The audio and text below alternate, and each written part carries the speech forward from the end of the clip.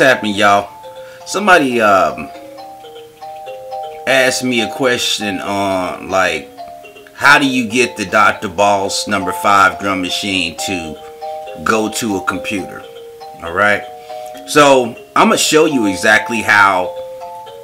I don't really take mine to the computer.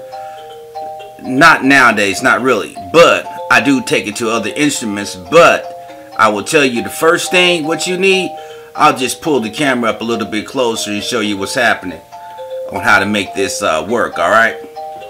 First of all, you got to have one of these MIDI connections right here to even go from your MIDI uh, output of your Dr. Boss 5 drum machine to the computer. I'll show you the other side. All, I have to come I have to hit this right here in order to make anything happen. So this right here is my um, MIDI through device.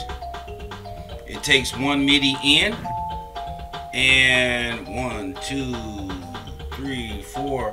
I think it's around five outputs, so I can hit five different instruments.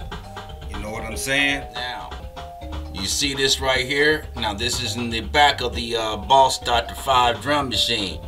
Now you got to have this go, you got to have it go MIDI out before you do anything. In order for it to transmit the data, you have to send the MIDI out of the drum machine over to the MIDI splitter and then um, or some people use a USB straight to their uh, software.